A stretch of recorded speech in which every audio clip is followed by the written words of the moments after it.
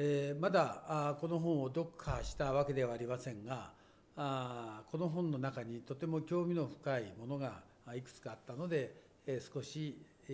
ーご紹介したいと思います、え炭水化物が人類を滅ぼす、まあ、低炭水化物だとか、え肉食ダイエットだとか、まあ、言われますが、えその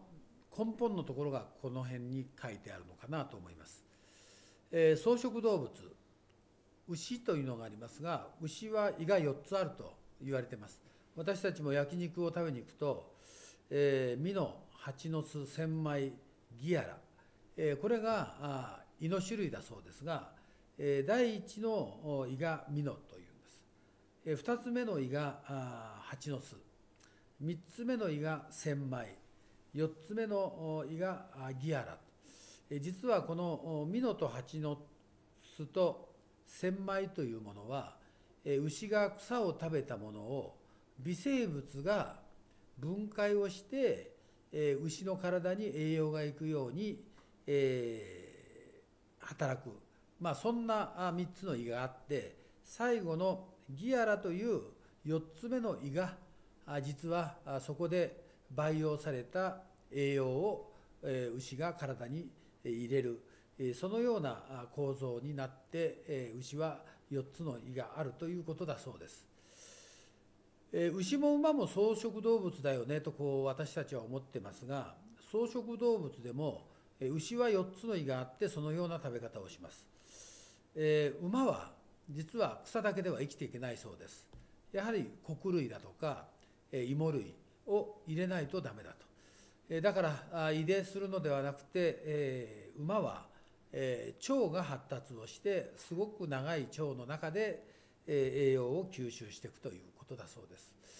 えーその馬と同じように、えー草食動物の中にはウサギがいるそうですけど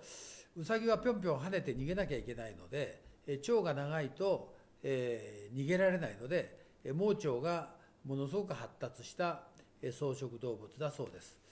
まだあ走りを読んだだけで、えーまだまだ理解ができておりませんが、えー私たちのもともとの体も、えーそのようにできてて、えー人間はあ体の本質から言うと、えー肉食動物だそうです。えーそれは胃カメラをえー見てる先生たちはみんな理解しているそうです。えー例えばちょっと汚い話ですが、えー酔っ払って、えー夜、えー物を戻したりすると、えーお肉やなんかタンパク質はもう30分ぐらいで胃から、次の臓器に運ばれてますが、えーご飯粒だとかあ焼きそばだとかは残ってだからあそこに入ったあ汚いものは大体炭水化物がそこに残ってあると。ですからお酒を飲んでからあねぎねねぎ際にラーメンを食べたりおむすびを垂れたりするとやはり消化するのに3時間4時間かかりますから胃はえー自分は寝てるつもりでも体の中はいつまでもいつまでも明け方までえー動いてなきゃいけないそうです。えーですから朝食べたくないっていうのは当然なことだのようです。え私たちは腹持ちがいいものを食べる時間とそれから消化がいいものを食べる時間と付け分ける必要があると思います。えこの炭水化物が人類を滅ぼすという本も実は肉体労働をしたり運動選手たちは、それを消化するからいいわけで、私のように糖尿病だとかいろんなアレルギーだとか、えー特異体質の人たちはやはり、体を汚さない、えー白い砂糖とかあ白いお米だとか、白いパンというのはなるべく避けて、えー